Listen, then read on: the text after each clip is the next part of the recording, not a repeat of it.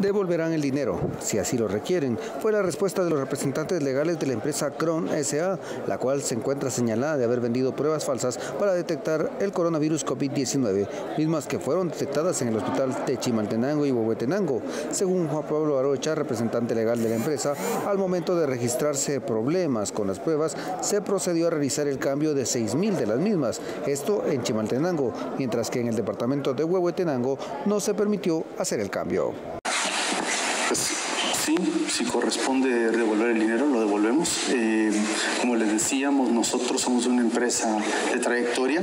Eh, bajo ninguna circunstancia eh, queremos afectar la salud de los guatemaltecos. tenemos también el, hecho de que ya se habían hecho cambios en, el hospital de Chimaltenango, como, como, de acuerdo a lo que establece la carta de compromiso, estábamos prestando el soporte técnico.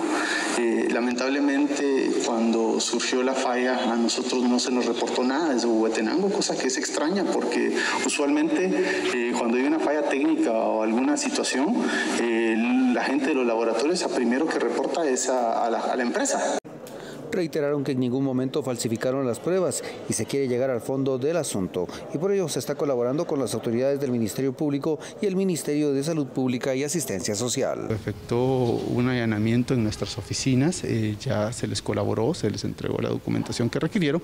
El Ministerio también de Salud también ha estado visitando nuestras nuestras sedes eh, y todo se ha, colaborado con, ellos y, claro nosotros estamos colaborando con, con las autoridades para para resolver esta situación.